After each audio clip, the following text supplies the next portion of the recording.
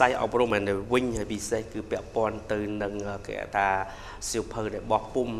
តាំងលក់នៅហេតុបណ្ណាល័យគឺសៀវភៅដែលមានចំណងជើងថាគំនិតរកស៊ីគួចមេងលីដែលមានកម្រាស់346ទំព័រត្រូវបានចេញលក់ជាផ្លូវការនៅលើទីផ្សារហើយហើយនៅក្នុងពេលឆាប់ឆាប់នេះនឹងមានគេហៅថាលក់នៅក្នុង website ដ៏ល្បីរបស់ Amazon ថែមទៀតផង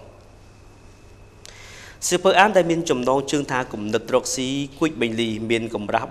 346ទំព័រដែលជាស្នាដៃទី6របស់លោកអុកញ៉ាវិជ្ជបណ្ឌិតគួចមេងលីត្រូវបានសម្ពោធចេញលក់ជាផ្លូវការហើយនៅព្រឹកមិញ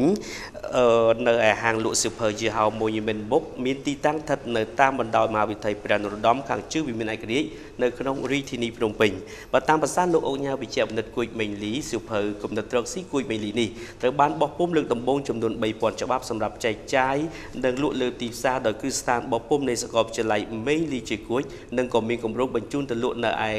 ទីផ្សារក្នុងអនឡាញនៃគេហទំព័រ Amazon ដ៏ល្បីនាពេលឆាប់ឆាប់ខាងមុខនេះផងដែរហើយថវិកាដែលទទួលបានពីការលក់សៀវភៅនេះលោកនឹងធ្វើការបរិច្ចាគជូនដល់មូលនិធិមេងលីជាគួយសម្រាប់ធ្វើកិច្ចការងារមនុស្សនៅក្នុងសង្គមពិសេសនៅឯតំបន់ជនបទដាច់ស្រយាលដែលមានការខ្វះខាតនិងលំបាកខ្លឹមសារសៀវភៅនៃបាទខ្លឹមសារសៀវភៅអឺ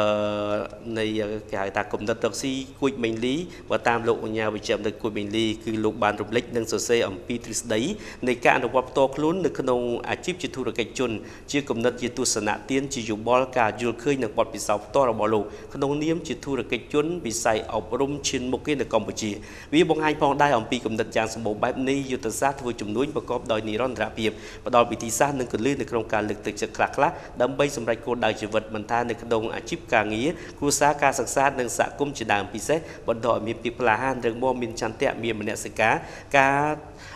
ទទួលខុសត្រូវតស៊ូព្យាយាមម្ចាស់ការនិងមិនបញ្ញាប់ចុះចាញ់ចំពោះបញ្ហាដែលកើតមានឡើងនៅចំពោះមុខបណ្ដោះឲ្យមានបបតចែករំលែកដោយការបរិច្ចាគថវិកាដែលបានពីសង្គមទៅជួយដល់សង្គមវិញបាទសិភើនេះជាប្រភេទ អឺ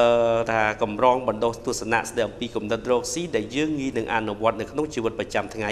ដែលកម្រងបណ្ដុំទស្សនៈទាំងនោះរួមបញ្ចូលនៅបទពិសោធន៍ជាច្រើនដែលស្ដែងអំពីការអនុវត្តផ្ទាល់ដៃនៃជីវិតការងាររបស់អ្នកនិពន្ធផ្ទាល់តែទោះយ៉ាងណាគុណតម្លៃនៃសៀវភៅនេះជាទស្សនៈជាគំនិតផ្ទាល់របស់លោកអុកញ៉ាវិជ្ជបណ្ឌិតគួចមេងលីដោយមិនបានឆ្លុះបញ្ចាំងពាក់ព័ន្ធនឹងគោលការណ៍នៃទស្សនៈឬគំនិតទ្រឹស្ដីណាមួយនោះឡើយពលវាជាគោលគំនិតបណ្ដុះនិងពង្រីកទស្សនៈវិស័យវែងឆ្ងាយប្រកបដោយយានគំនិតស្ដីអំពីជីវិតការសិក្សាការងារគ្រួសារសង្គមទំនាក់ទំនងសង្គមនិងមធ្យោបាយបង្កើតគំនិតរក្សាគំនិតនិងដោះស្រាយប្រកបដោយជារបៀបដែលស្ដែងចេញអំពីគុណតម្លៃនៃបទពិសោធន៍របស់អ្នកនិពន្ធផ្ទាល់តែម្ដងប៉ុន្តែទោះយ៉ាងណាលោកផ្ដាំបញ្ញាថាសូមគម្រោកស៊ីធ្វើជំនួញតាមថ្ងៃរះនិងថ្ងៃលិចឲ្យសោះតែត្រូវរកស៊ីតាមក្បួននិងមានលទ្ធភាពទៅតាមកលៈទេសៈនិងចំណេះជំនាញដែលខ្លួនមានទើបទទួលបានជោគជ័យហើយលោកក៏បានផ្ដាំផ្ញើសូមឲ្យយុវវ័យក៏ដូចជាអ្នកដែល ចង់ជោគជ័យនោះសូមធ្វើយ៉ាងម៉េចអានឲ្យបានច្រើនព្រោះថាការអាននេះគឺនឹងអភិវឌ្ឍខ្លួនឯងនឹងធ្វើឲ្យយើងមានផ្នត់គំនិតនៅក្នុងការសម្រេចចិត្តទៅលើផ្លូវដ៏ត្រឹមត្រូវមួយនៅលើមុខជំនួញបាទហើយសូមបញ្ជាក់ផងដែររាល់សៀវភៅដែលជាស្នាដៃនិពន្ធរបស់លោកអុញ្ញាវិជ្ជបណ្ឌិតគួយមេងលីនឹងត្រៀមដាក់លក់នៅឯគេហទំព័រអនឡាញ Amazon ដ៏ល្បីល្បាញជាសកលទីពេលឆាប់ឆាប់ខាងមុខបន្ទាប់ពីក្រុមការងាររបស់លោកនោះបានប្រើពេល3ឆ្នាំដើម្បីបំពេញបែបបទនៅក្នុងការបានលក់នៅក្នុងផ្សារអនឡាញរបស់ Amazon នោះបាទ